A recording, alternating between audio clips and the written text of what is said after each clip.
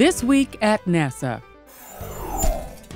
You're looking straight into the camera. Absolutely. Cosmonauts Fyodor Yurchikhin and Mikhail Kornienko spent nearly seven hours spacewalking to replace a video camera and improve cable connections to the International Space Station.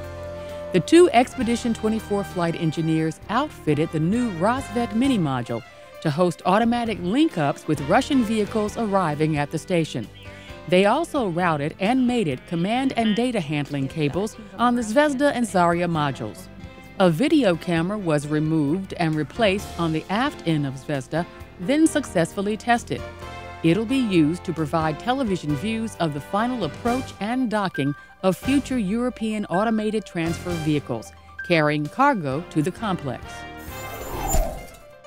Aerospace engineers at the Ames Research Center are using wind tunnels to test a Launch Abort System, or LAS, for the Orion spacecraft.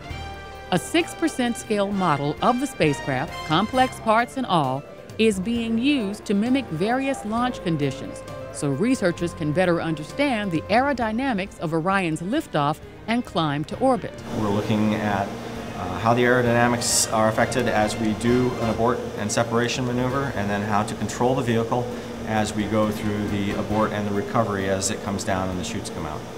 Comprised of a tower and cover, Orion's LAS has a powerfully built launch abort motor, which would quickly move the craft and its human cargo away from the launch vehicle in an emergency. The ability to protect astronauts from a launch pad failure is a critical component of human spaceflight, and tests like these help maintain the safety of astronauts throughout their mission. Like proud parents watching their baby take its first steps, mission team members gathered in the gallery above the clean room at the Jet Propulsion Laboratory to witness the Mars Curiosity rover roll for the first time. Curiosity was guided by engineers and technicians in bunny suits as it made its first roll on the clean room floor, moving forward and backward about a meter. It's gone from designs on napkins to PowerPoint, you know, to uh, CAD drawings to blueprints, and now it's a rover. Curiosity, also known as the Mars Science Laboratory, will be the largest rover ever sent to the Red Planet. It'll carry 10 instruments to detect places where life may have existed and whether they have the capacity to preserve the evidence. MSL is scheduled to launch in fall 2011 and set down on Mars the following August. A camera aboard NASA's Mars Odyssey spacecraft has helped develop the most accurate global Martian map ever. And not only can researchers access the map, so can the public explore and survey the entire surface of the red planet as well. The map is made from nearly 21,000 images taken by the Thermal Emission Imaging System THEMIS, a multi-band infrared camera on Odyssey. The pictures have been smoothed, matched, blended, and cartographically controlled to make a giant mosaic. Users can pan and zoom into the images with some of the smallest surface details, just 330 feet wide, researchers at Arizona State University's Mars Space Flight Facility and the Jet Propulsion Laboratory have been compiling the map since Themis began observations eight years ago. While some portions of Mars have been mapped at higher resolution, this map is the most accurate one to cover the entire planet. So this 100 meter resolution map is going to be extremely helpful in making the planet accessible to everybody and also for adding in higher resolution images. Explore Mars yourself by following the links at www.nasa.gov forward slash mission underscore pages forward slash odyssey. Welcome all, and thanks for coming. Thanks for playing with us.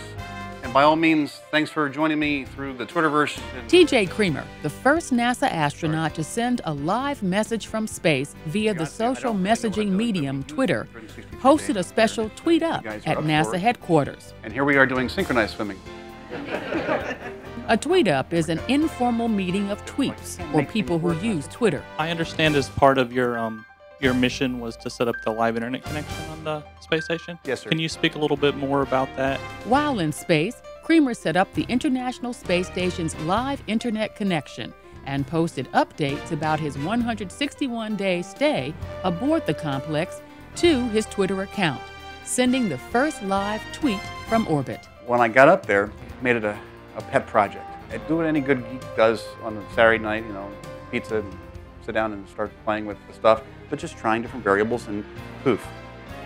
Literally, I got lucky. Once we were able to make that connection happen, the first thing I did was, hey, Twitterverse.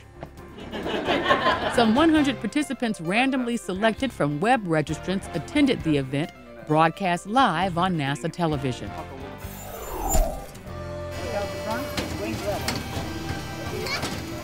The Ames Research Center hosted Exploration Day, featuring NASA's out of this world missions and technology programs. Fresh from her recent tour of the Johnson Space Center, Star Trek star Nichelle Nichols was a special guest at Ames, meeting with students at a science poster session and touring several of the center's simulators. Youngsters were treated to a variety of hands on educational experiences, among them the Traveling Space Museum, offering more than 10 stations of fun and interesting activities. The day long event was part of NASA's Summer of Innovation initiative. We're sharing with them just how exciting and how engaging science, technology, engineering, mathematics is. And we're doing it by giving them a first hand, hands on, front row seat in the experience. The STS 132 crew continued its road trip with a multi site stop in Ohio and the nation's capital. Five crew members, including local native Michael Good, shared their mission highlights with an attentive crowd at the Rock and Roll Hall of Fame in Cleveland.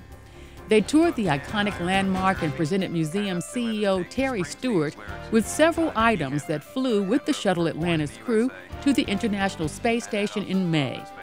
These included the official Rock and Roll Hall of Fame flag and copies of the lyrics of Jimi Hendrix's Purple Haze and Bruce Springsteen's Born in the USA.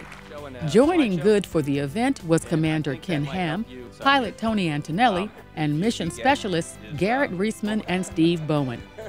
Good and crewmates also met with singer Jon Bon Jovi and band and later attended a concert by the rock group.